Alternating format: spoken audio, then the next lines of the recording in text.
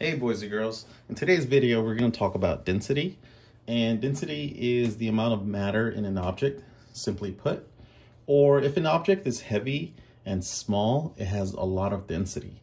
Now in today's video we're going to be using water for our experiment. We have our objects right there. All right, so we have different objects here. Um, I have a cork, I have some rubber, I have sponge, wood, plastic, metal. I have a rock as well. This is a rock. So these are going to be the objects that we're going to be using. Okay, so at this time, go ahead and make your predictions. Write down in your journal the chart, your predictions, what you think is going to happen. And let's start off with the rock. Now with the rock, do you think it's going to be more dense than water or less dense than water? Let's go ahead and test it out. Three, two, one. Okay, so that sank, the rock sank, therefore it is more dense than water. All right, so I'm gonna take it out, take the rock out. I have it right here, put it in my tray. And let's get another item. This time I'm going to use the sponge. What do you think it's, is it, you think is it gonna float or is it going to sink? Three, two, one. Uh-oh. All right, now let's push it down. And it comes right back up. So that is going to float. Squeeze it out. Let's try the wood. What do you guys think? Three, two, one. Push it in, push it in. It comes back up. Let's try the cork. Cork floats. Let's try the metal ball. Uh-oh. That one sinks. Let's try the plastic spoon. You gotta push it in.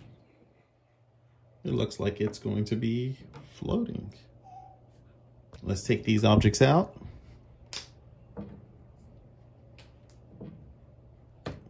There we go. Just to speed up the process, I'm gonna add a few more at a time.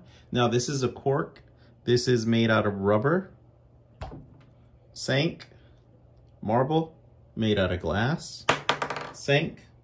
Now the cork comes from the cork tree. Um, this is cork. Uh, the golf ball, I think this is a tee, a tee golf, or I'm not sure what this one's called. It's made out of wood. Oh, that one.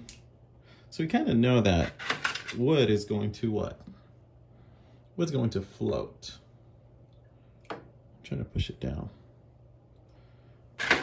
All right, last three things. We have a cube, plastic cube used in math. Push it down. Floats. We have an eraser. Sinks. And we have a pinto bean. Well, lima bean, sorry. It's a lima bean. That one sinks. Put all the things back in there. That one's wood. This is the cork. Put that one back in there. The spoon. spoon also floats. The rock sinks. The sponge. Sponge floats. And then the metal ball also sinks. Okay, so I have my two trays. Now we're going to separate them. This one, no, this one what? Floats. So it's going to be less dense. This is less dense than the water, so it's going to float. Spoon popsicle stick, wood, cube, tee, and then the rest of the things, these are going to the rock, metal ball, take these out, the marble, and these are also going to. Now in here I have uh, oil and we have water on the bottom. Now why is oil on top and water on the bottom? Oil has less density than water, therefore water is going to sink and oil is going to float. It's going to float on top of the water. Now, they do not mix because of the properties of oil and water. They will not mix. In this tube, I have styrofoam balls and I have oil. Now the styrofoam balls are going to float and the oil is going to sink. It's on the bottom. That means that the styrofoam balls are going to be less dense than oil. And you can conclude that the styrofoam balls are going to float in water since they float in oil. Because oil floats in water.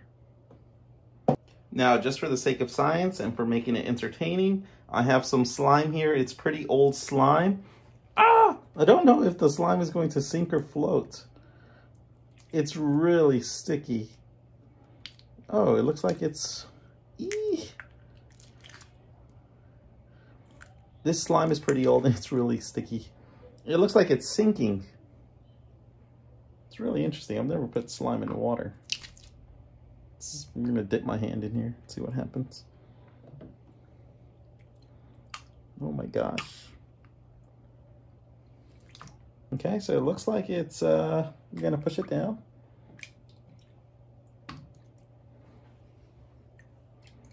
It looks like some of it's sinking and some of it's floating. I think I might have to add more to it.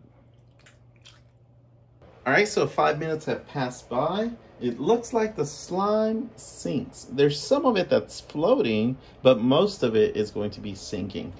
Interesting. So we're gonna put slime that's sinking. All right, boys and girls, hopefully you guys enjoyed this video. Remember to like and subscribe and stay tuned for more videos coming up about science. Bye, guys.